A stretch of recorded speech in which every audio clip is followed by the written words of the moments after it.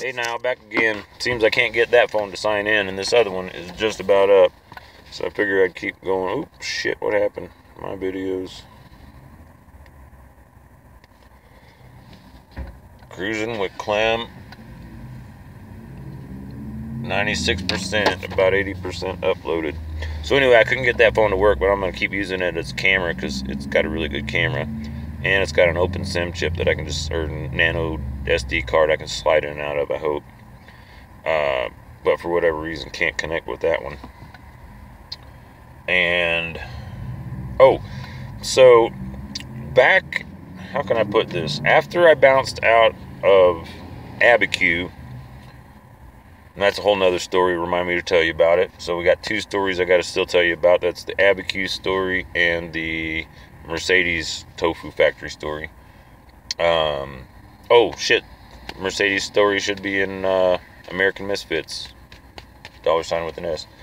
Um, so I went to Moab and I had this little computer and I was making music with uh, drum machine and other stuff. And I got to the idea that and it's what I think to me the original origin origin origination of uh, hip hop music, uh, scratching and DJing and things like that is that was a way of people to make original music out of pre-existing music because that was the only source of making music that they had. And they were trying to make original music with other people's previous music. They couldn't afford studios or microphones or this is or that's.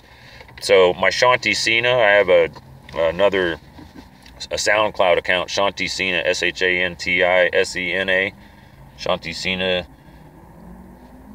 my Shanti Sena 13 at gmail.com, I think.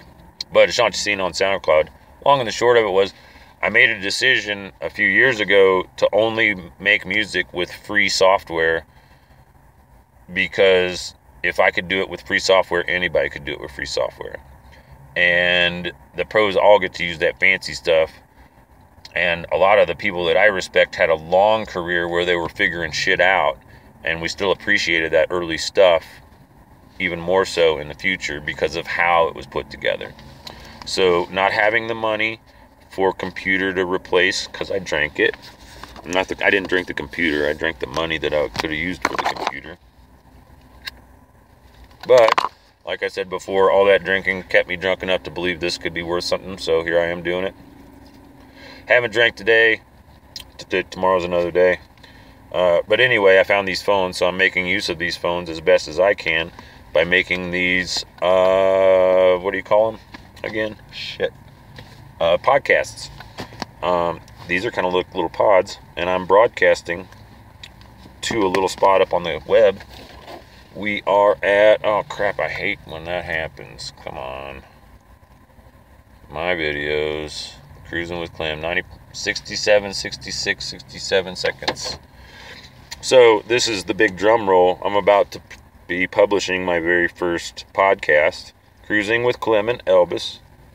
Or is it Cruising with Clem Hawkins and Elvis? Probably the sec the latter. Not the thing you climb to do wind is the word that means with T's. Latter, not ladder. Um, yeah, getting them high so they can hear what I'm saying.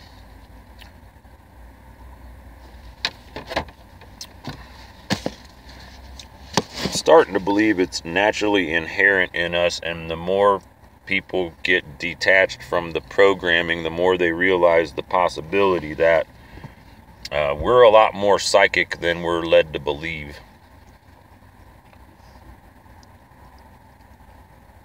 I recall at some point researching or learning about ornaments and the or origination of Christmas tree ornaments as we're almost upon Christmas. Happy birthday, everybody.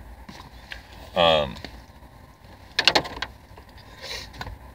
the idea was in those days the people believed as a certainty, as if we believe water is wet and ice is cold. Uh, they believed that gold allowed a psychic connection between people so they could uh, have a better sensibility about what was around them and in connection with their family. So when the kids were at the house and the parents were out in the fields, they would put uh, gold along the tree lines as a wire, as a psychic receptor, so they could keep an eye and keep in contact with their kids and their family and stuff. And I think that's pretty neat. Supposedly, the whole gold band thing is that that's to simulate the idea that they will always be together, even though they're not physically in the same place. Uh, I like that too. And when you think of about the pharaohs that they got the most gold headdresses and all that, they got the most the ability to see what everybody was thinking. Because that's what it takes to become a good king is to be a good peasant. Think about it. In the game of chess, only two pieces move one step at a time. Pawns and the king. Everybody else is sliding all over the place, jumping all over the place. The horse goes in the L shape. And if you're in Oregon, you can see that in the back of that Ken Kesey statue one of his sons, I was all high and thinking, oh, it's because it's the only piece that moves in an L shape. And I'm not sure why the artist chose the knight to represent chess for that kid. And I never met, I can't say I've ever met that kid, but I have chatted with um, Zane Kesey, and he told me that it was because his brother was real into chess that they did that. But like most pranksters, there's a false excuse for every reason that we aren't doing something. Uh, I'm going to check this tracking and whatnot. See how this other thing's doing. Should I put that on the camera? Oh, look at that. This video is ready to be watched. Peace. Love ya.